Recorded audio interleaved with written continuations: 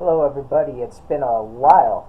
I've been very, very busy and just wanted to play a spontaneous song.